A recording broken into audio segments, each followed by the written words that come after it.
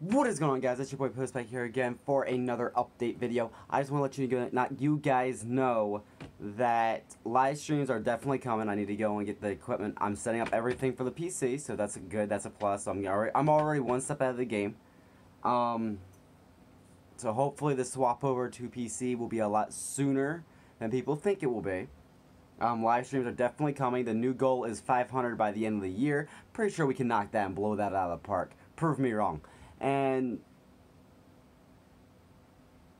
yeah, actually, yeah, don't prove me wrong, because you know, if we have if we get to 500, we're going to do a sleep lock. That that's all I can say. If we can get to 500 by the end of the year, I will do a sleep lock. So, that's just this. You know, if you guys want to see a paranoid, crazy little, uh, loopy me, even more loopier make sure you go get this channel to 500 because 500 is when we're going to do a sleep lock. Live streams definitely coming. Pcs already getting worked out. Got the, a webcam. You know everything's starting to come together for the channel. Um what else?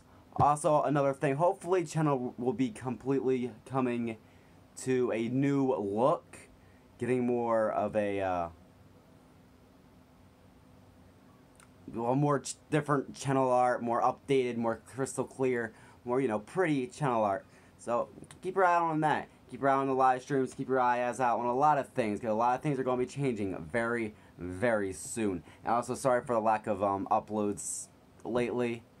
I have been uh, really buried under schoolwork and stuff like that. Just, just an FYI. So that's all I really needed to say. Thank you guys. Make sure you go like this video, comment, and subscribe if you're ready. I will have a list, I like a poll down below. Comment section, make sure you check that out. Go and vote for what you want me to live stream first things first. And without further ado, you guys stay shocked and I'll be out of here. See.